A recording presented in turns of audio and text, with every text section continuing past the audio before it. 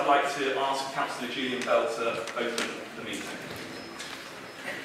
Uh, thank you, Peter, and thank you everybody for coming in. Um, as Peter said, uh, uh, people are very concerned about what has happened, uh, and that's something that as Ealing Council and as elected representatives of Ealing Council, uh, myself and other councillor colleagues that are here tonight have been acutely uh, aware of. Um, the issue has been ongoing for two and a half years, and throughout that period, um, residents have expressed their concerns, and uh, they have asked us to investigate uh, the problems in various ways. So if, if I go back to uh, just over a year ago, um, it was first thought that there were problems coming from FM Conway plant uh, in uh, Hillingdon, uh, in Hayes. And so uh, myself and others, we went to FM Conway, uh, we talked with FM Conway, uh, we also, through officers and personally through myself, spoke to Hillingdon uh, Council, who are the regulatory authority for FM Conway. I won't go further on that, but that is one of the issues uh, that has made this particularly complex and difficult, and we have made some progress in making changes to that plant at FM Conway in Hillingdon.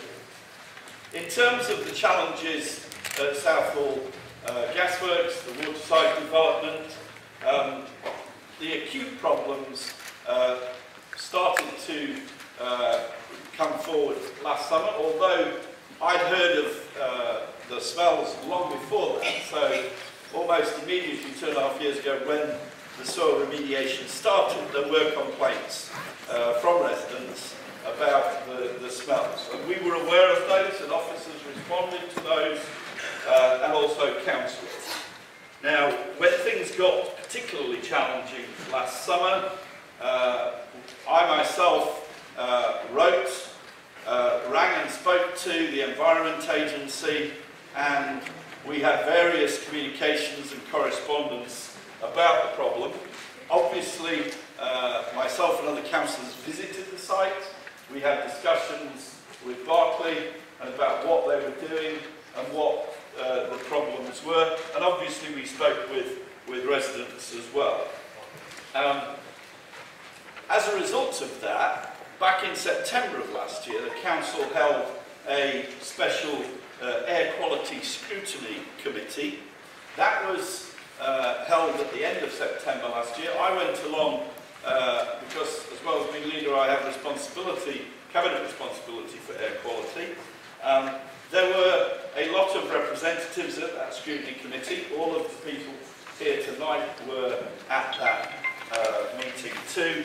Uh, the Environment Agency, uh, the uh, Atkins representatives from Berkeley, uh, and also some of our technical officers from the council and our public health officers. At that point, last September, the council asked, because of the concerns that were being expressed, Public Health England to look at the problem, and we ensured that they got three sets of data. They've now given us three uh, reports uh, the latest one which came out yesterday.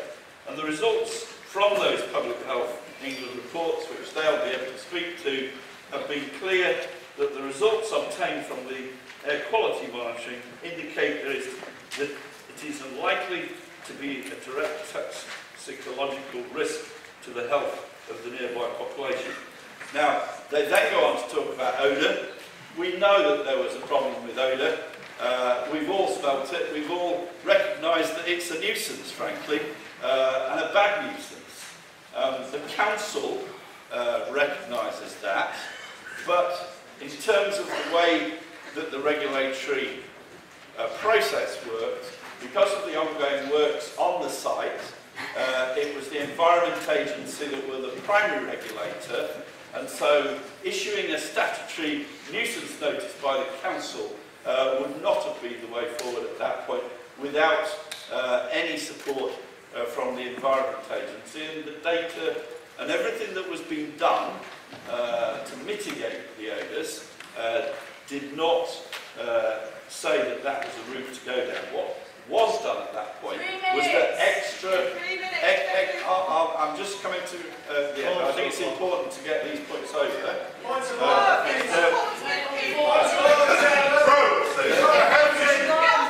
This is not a lecture. so, Help the meeting, Chair. so, Help. Time's up, Mel. if you, if you let me, I, I, am, I am finished, Chair. So there were extra monitoring arrangements put in place last July as a result of the Environment Agency and the Council's uh, intervention. So um, I think I'll, I'll leave it at that, Chair, but obviously, uh, you know, I think we need to understand that the major works have now finished. The soil hospital has been uh, dismantled, the work has ended, and people, people are moving. There are three, there are three hundred new houses. What's the order, Phil? If I could please ask everyone, on poisoned land that had been lying there where nothing would grow with carcinogens, lists of chemicals which I got here from when we campaigned in 2004 and 2005 and the Labour Council eventually turned down the planning development. Then Conservatives got in in Ealing, and again we campaigned, and again they were forced to turn it down by this community, only to have it undemocratically overturned by Boris Johnson. And one of our concerns, in fact our major concern all along, was the health of local people, not just the fact that it was a horrible, greedy, inappropriate development uh, that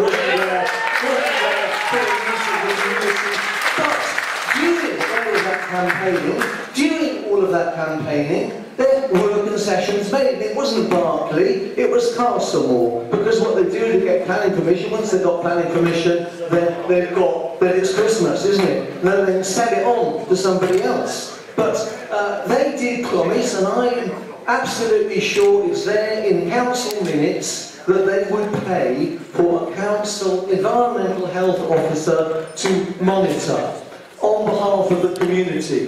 And I'd like to understand why there isn't such a paid-for council environmental health officer. For example, they said at the time, this is June 2005, odours. Remediation occasionally produces pungent odours, and these would be assessed regularly by site observations at each excavation area. Promises, promises, this is all before they got the planning permission. Prompt reaction plans for suppression would be in place. Where proximity of the public and wind direction demands, odour suppression measures would be taken. All of the promises that were made at that time uh, just seem to have floated away once they got the planning permission. And really, I don't believe, there was, I don't know if you saw it in the newspapers a couple of days ago, there was a report that children living in Birmingham, children living in Birmingham have their uh, life expectancy shortened because of pollution in the area. And it's not uncommon uh, in highly polluted areas because we've already got pollution here. We've got airplanes going overhead. We've got, uh, we've got an industrial area, so we're adding to that. And you know, it is children's lives that matter. I can't imagine uh, that with all the money at stake, uh, anybody is going to readily admit that poisoning local children. So it is down to people power, and I would like to see a bit more of a lead uh, from council with environmental health, and you know, use the powers that they've got Independent, well, eh, absolutely. The very last thing I wanted to point out is we've lost our children's services at a local hospital. You can't take the kids to A&E now, and we need to get that back as well.